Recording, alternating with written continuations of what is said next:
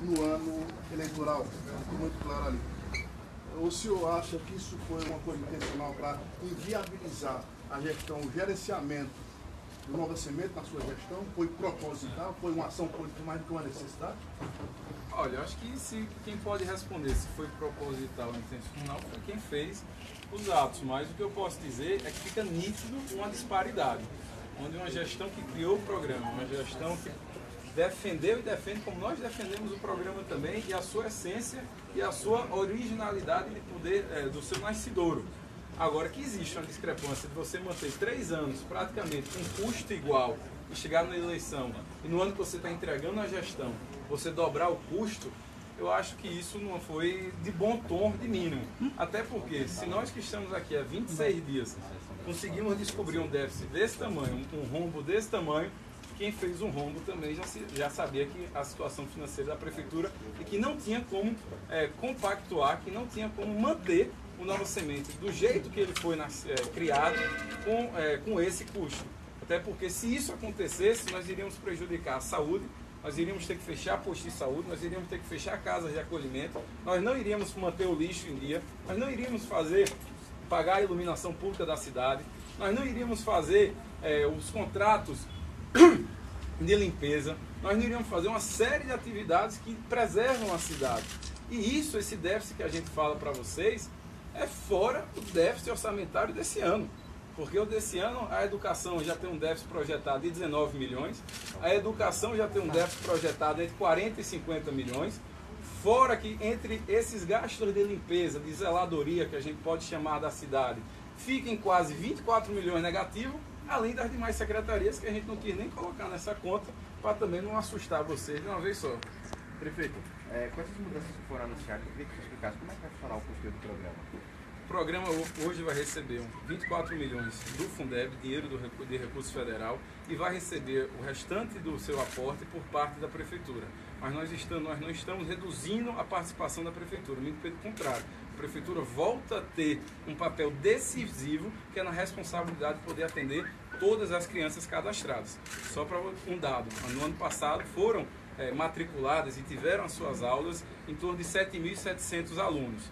Esse ano estava previsto para 10.100 e vamos garantir a educação e o acesso à educação, que é o mais importante, que é o que todas as leis de educação básica e de educação infantil preconizam, nós vamos garantir o acesso a mais de 10 mil crianças. E como é que vai funcionar essa relação entre CMEIs, as crianças do Nova Semente e as crianças do CMEIs? Nós vamos prioritariamente nós vamos realocar as crianças que estão perto de uma CMEI, isso é muito importante dizer, até porque estão fechando unidades antes de a gente anunciar quais necessariamente serão fechadas.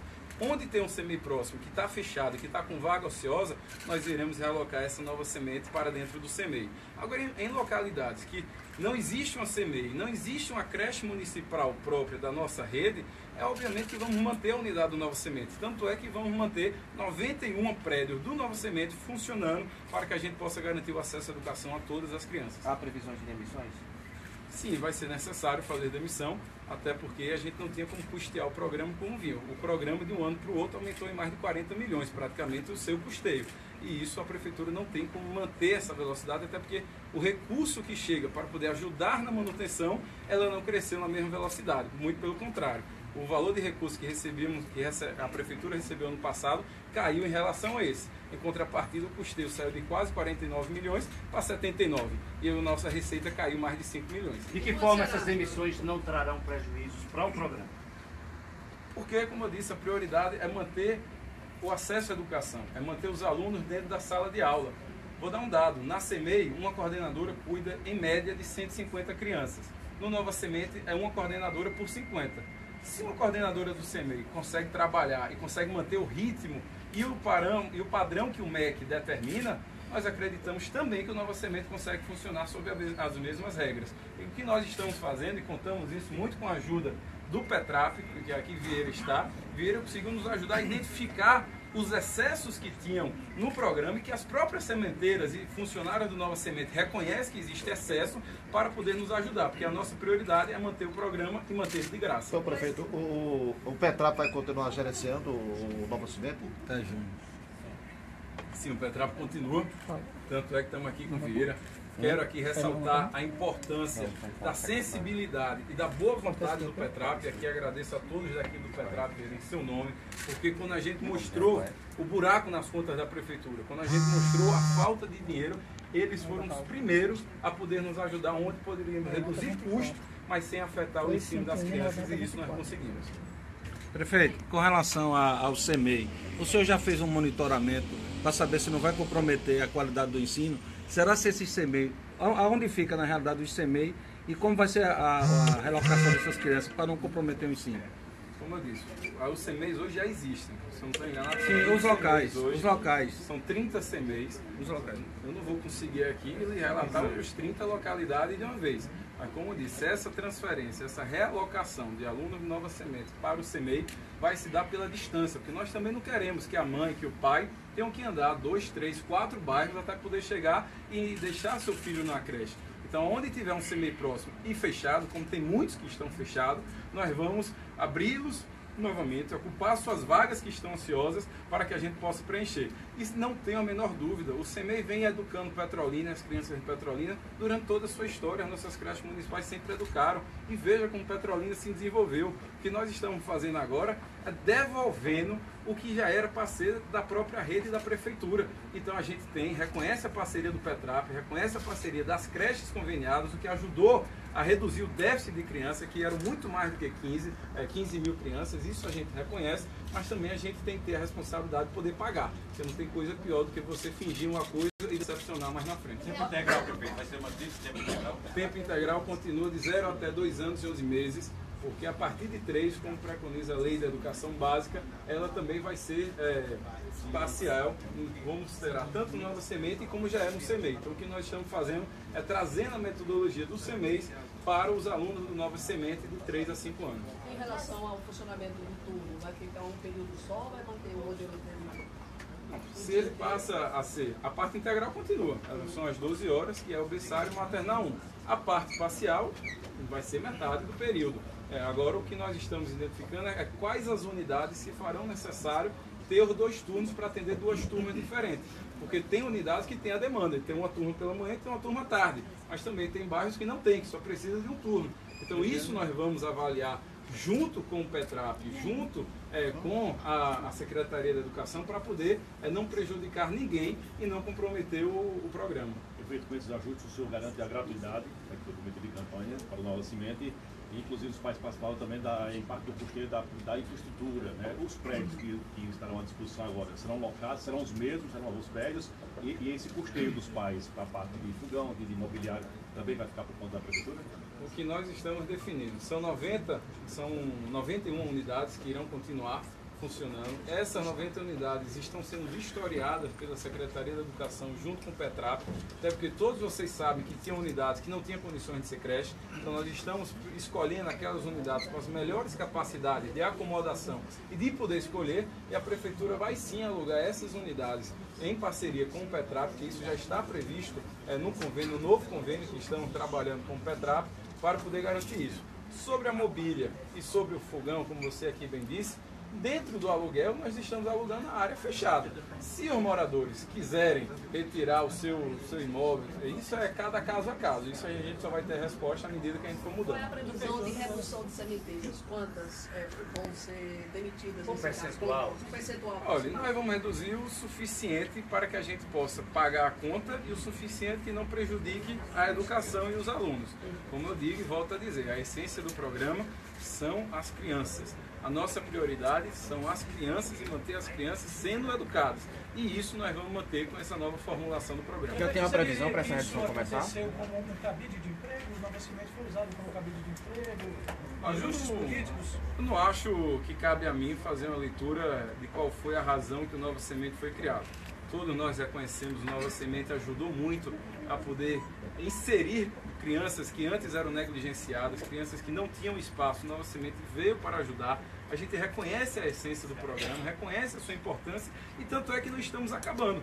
Porque nós queremos manter e que estamos querendo ampliar ele e melhorar a sua qualidade. Então, Eu deixo que a comunidade faça a sua reflexão. Vocês, eh, jornalistas, também da imprensa, podem fazer com as informações, mas o que eu posso dizer é que o Nova Semente agora é 100% educação. Há uma previsão para essa redução dos quadros? Olha, como todas estão gozando de férias nesse período, eh, elas serão avisadas a partir do dia 30, 31, se não me engano, agora no final do mês, a partir da semana que vem, vão iniciar esse processo eh, de reformulação do quadro de funcionários. Prefeito, ao manter essa, é, essa- esse freio de mão no, no Nova Semente e com esse déficit que você colocou ali de mais de 15 mil crianças, isso não, não vai dificultar ainda mais para que crianças menores também tenham esse acesso à educação infantil? Não, porque veja qual foi o nosso raciocínio. Se a gente mantesse 10 mil crianças como o programa estava previsto, a gente iria manter 4 mil vagas ociosas. Nós estamos colocando 4 mil crianças para ocupar essas vagas e estamos abrindo a possibilidade de no futuro a gente poder abrir novas vagas, seja pelo nosso semente, seja pelo CEMEIS. E não só pelos CEMEIs e unidades que já existem, mas também pelas que vamos construir, construir junto com o governo federal. Esse movimento que está acontecendo nessa sexta-feira agora, prefeito, da- das mães preocupadas, inclusive, com algum protesto com relação à redução. Lhe preocupa de que forma o senhor está absorvendo? Não, é direito de todos protestarem, é direito de todos se manifestarem, mas eu acredito do fundo do coração de que aquela mãe que agora tem a tranquilidade de que seu filho não vai ser prejudicado, que seu filho não vai perder a educação e que seu filho vai ter um lugar para ser bem acolhido, para poder ser bem é, é, educado, essa Parou mãe está mais aliviada. Agora é óbvio que quando você anuncia uma, uma demissão de algum de um certo percentual que vamos é, ter que demitir, isso gera certo desconforto. Então, são todas nos seus direitos. Mas o, todas que são contratadas do Petrap sabem que isso não é um, um direito adquirido, sabe que isso não foi concurso, isso é um contrato temporário. É um contrato de, como todos aqui, na maioria, somos contratados de uma entidade sem fins lucrativos, uma OS, como é o Petrap, que pode rescindir a qualquer momento. Prefeito, Vamos falar agora das vagas, né? Vai haver um aumento das vagas agora em 2017, mesmo assim ainda corre risco de alguma criança ficar sem vaga? Olha, nós estamos ampliando. Ano passado tinham mais de 47 mil crianças matriculadas na nossa rede, desde a educação infantil até a educação fundamental. Esse ano nós vamos passar para mais de 52 mil. É um, é um incremento de vagas de mais de 5 mil crianças. Infelizmente, a gente sabe que tem déficit. Só na educação infantil de 0 a 5 são mais de 15 mil crianças. Então, o que nós temos que trabalhar é unidos com a sociedade, unidos com a- as forças políticas e lideranças comunitárias que é para que possa nos ajudar a destravar os investimentos necessários, seja em Brasília, em Recife ou aqui mesmo, recursos próprios, para que a gente possa ampliar ainda mais esse número de vagas. Prefeito, prefeito, em dezembro o, o Petrap iniciou demissão, demissões de sementeiras, né? Cerca de 800 sementeiras se encontram com a rescisão assinada. Já faz parte da reformulação do novo cimente e o senhor garante o retorno delas para a unidade? Eu assumi a prefeitura em janeiro, então acho que é melhor quem estava em dezembro à frente do programa poder fazer essa resposta. Poder- É, muitas funcionárias elas não tinham o direito a férias porque tinham um mês, dois meses trabalhando. Isso era óbvio que todo, todos os anos isso acontecia no programa Nova Semente. Não só foi esse ano. Então é, elas foram afastadas porque não tinham direito a férias, porque tinha menos de seis meses trabalhando no programa Nova Isso porque a prefeitura não assumiu, não pagava esse direito? Não, não, não era, não era isso, né, e os demais. Era os direitos adquiridos, as férias, é que elas não tinham. Então, para a gente não ficar com um funcionário ansioso sem ter o que fazer, elas seriam demitidas e retornavam. É garantido o retorno delas? O trabalhador não tem direito a férias? Por que não tem? Não tinha férias? Não, três meses, trabalhando três meses, não. Há três meses. É, estou falando disso para vocês. Das que foram contratadas. Contratado por menos de três meses. Qual foi o número de, de professores? É, e, e muitas já estavam no final do contrato de experiência, então ela seria afastada e se fosse continuar no mesmo modelo, elas retornariam. Mas agora é uma outra situação. Se trata agora é de redução de, de quadro, porque precisa fazer uma economia. Então, algumas Você não podem retornar Você como administrador do Petrap, desse programa, desse programa todo, então você concorda plenamente com essa proposta apresentada pelo prefeito Miguel? É o melhor para a sociedade, para essas, para essas crianças no momento? é, nesse momento a gente tem que fazer isso, porque se não fizer, vai ficar muitas crianças fora da escola futura. Então tem que começar aqui na base, como ele está dizendo, e depois rever esse programa lá na frente, e poder atender mais crianças. Mas financeiramente, se insistisse, as crianças, o Petrap ia ficar com um déficit muito grande, porque tem que pagar os funcionários. Não adianta ter funcionário sem dinheiro para pagar. Então, o que o prefeito nos procurou com a equipe dele foi essa. Que o Petrap continuaria no programa. Agora, quando ele foi puxar, eu não trabalho na prefeitura, eu não sei as finanças da prefeitura. Quando ele foi puxar, ele disse, rapaz, eu não tenho como continuar desse jeito. Agora, o Petrap é uma instituição filantrópica, trabalha com crianças e adolescentes. O motivo da gente estar junto com o Miguel é atender as 10 mil crianças. Os demais eu não sei, a prefeitura é quem decide. O que a equipe dele decidir é o que o Petrap vai executar. Qual vai ser o critério do conhecimento- retorno Você dessa tinha cimenteira? conhecimento como administrador desse rombo que existia no Nova Semente?